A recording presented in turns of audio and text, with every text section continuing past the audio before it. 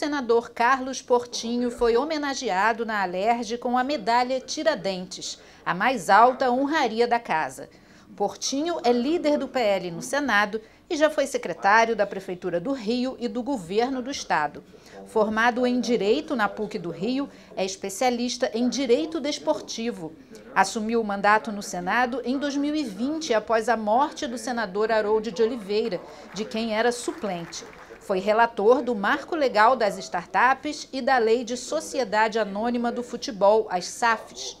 Me enche de orgulho, né? não próprio, mas pelo que eu represento, pelo trabalho que eu fiz nos meus dois anos no Senado Federal e poder estar aqui na Leste, que é a casa do parlamentar do nosso estado do Rio de Janeiro, que representa todos os nossos municípios.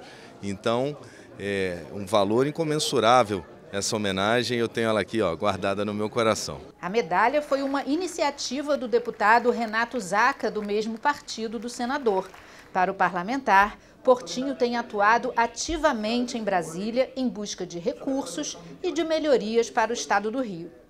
É uma pessoa que está imbuída, está tá, tá preocupado mesmo com o que vai acontecer com o governo do estado do Rio de Janeiro no próximo 2023. É uma pessoa que ele está voltado hoje, que eu vejo, para aquele pessoal que trabalhador, que merece hoje é que é a maior honraria do nosso estado ser premiado pelo trabalho que tem feito pelo nosso Estado.